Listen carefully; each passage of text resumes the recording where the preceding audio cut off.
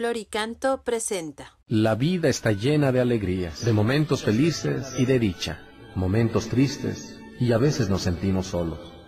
Parece que nadie nos acompaña. En esos momentos, recuerda, yo estoy contigo. En todo momento Cristo nos dice, estoy contigo. Escucha, vamos juntos con Monseñor Enrique Díaz para buscar la señal de la presencia de Jesús en tu vida. Descubramos de qué manera Jesús nos dice, yo estoy contigo, estoy contigo. 10 de marzo, Evangelio según San Mateo, capítulo 7, versículos del 7 al 12. En aquel tiempo Jesús dijo a sus discípulos, pidan y se les dará, busquen y encontrarán toquen y se les abrirá. Porque todo el que pide recibe, el que busca encuentra, y al que toca se le abre. ¿Hay acaso entre ustedes alguno que le dé una piedra a su hijo si éste le pide pan? Y si le pide pescado, le dará una serpiente.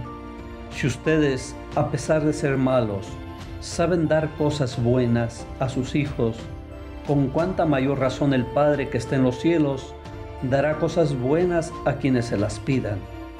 Traten a los demás como quieren que ellos los traten a ustedes. En esto se resumen la ley y los profetas. Palabra del Señor. La oración vuelve a ser tema de este día tanto en el libro de Esther como en el Evangelio. Esther en los momentos críticos de Israel se arma de valor para enfrentar al injusto tirano que ponía en grave peligro a su pueblo. Pero antes de acometer la empresa, se viste de sayal, se pone en ayuno y asume la actitud orante, llena de esperanza en el Señor. No tengo más defensor que tú, Señor. Protégeme porque estoy sola y voy a jugarme la vida actúa y hace oración. No permite que las cosas vayan por sí solas, pero no actúa por sí sola. Siempre en la presencia, ante los ojos y sintiendo la cercanía de Dios. Es lo mismo que propone Jesús a sus discípulos. Hay quienes pretenden ver en la oración de intercesión y súplica un acto inútil porque Dios ya conoce todos nuestros problemas y situaciones difíciles. Sin embargo, el mismo Jesús nos enseña que es muy necesaria la oración de petición. Las comparaciones que hoy nos ofrece el pasaje de San Mateo son más que elocuentes.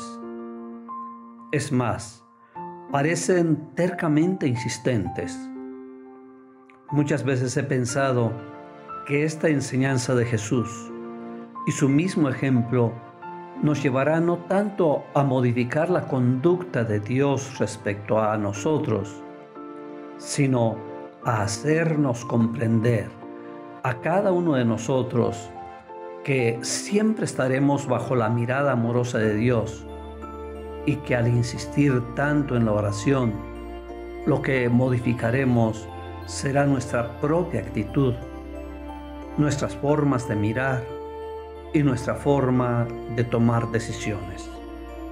Si estos días, ante los horrores de la guerra, hemos intensificado la oración por esos países que se encuentran en conflicto, nos compromete también a nosotros a ser constructores de paz en nuestros ambientes no podemos pedir paz para otros lugares y nosotros estar promoviendo guerras internas.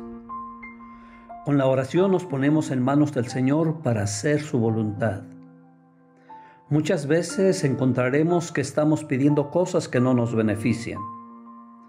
Otras en oración descubriremos nuevos caminos para actuar conforme a la voluntad de Dios Escuchemos hoy la voz de Jesús, que una y otra vez nos invita a hacer oración y hagamos de nuestra vida una continua oración al vivir siempre en la presencia amorosa del Padre. El Señor te bendiga en nombre del Padre, y del Hijo, y del Espíritu Santo.